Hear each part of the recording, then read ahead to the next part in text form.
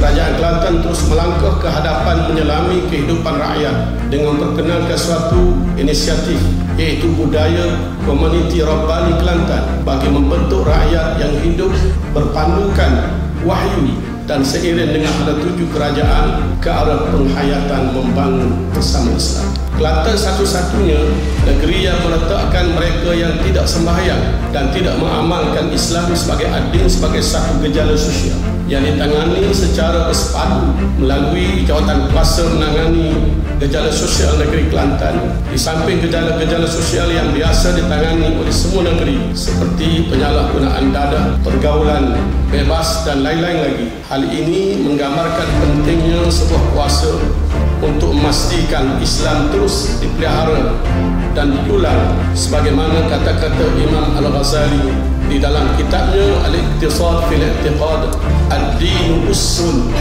Harisun Wa ma la ussalahu fa mahdumun Wa ma la harisalahu fa Agama itu asas. Pemerintahan itu pengawal.